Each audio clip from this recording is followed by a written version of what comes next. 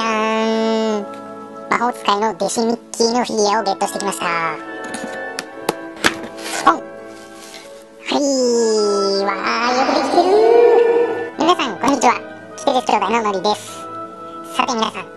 今回この弟子くんのフィギュアを開封したのはなんでだかわかりますか？実はこの弟子くんに関連するマニアッククイズを今回お届けするからなんです。ということで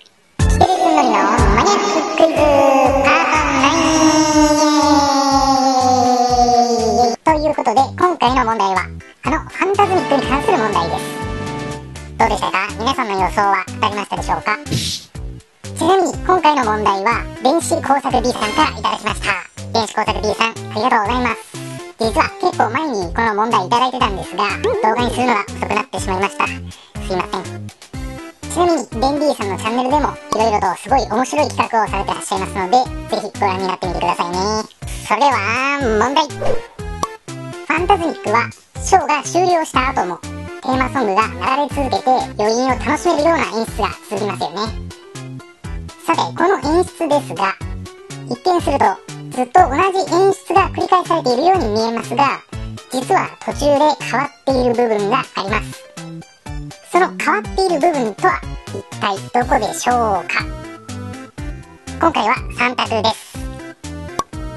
1照明の色合い。2音量。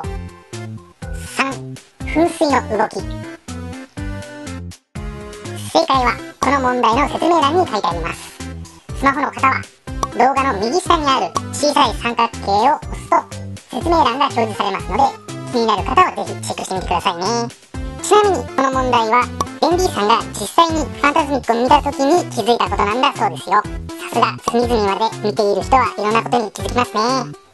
次はこんな問題出してくださいとか何かリクエストがありましたらぜひコメント欄で教えてくださいませもしこんな問題思いついたよという方いらっしゃいましたらこの動画の説明欄にあります質問箱に投稿してくださいね投稿するときには最初に問題と書いてくださいませできたら正解の根拠となる情報も教えていただけるととても嬉しいです例えば〇〇という本に書いてありましたよとか実際にこの目で確認しましたとか教えてもらえるととても嬉しいでございます。あとニックネームも書くこともお忘れなくいやーそれにしてもファンタズミック来年で終わってしまうんですよねワンマンズドリーム2もそうですが馴染みのあるショーが終わってしまうのはなんだかちょっと寂しい気がしますよね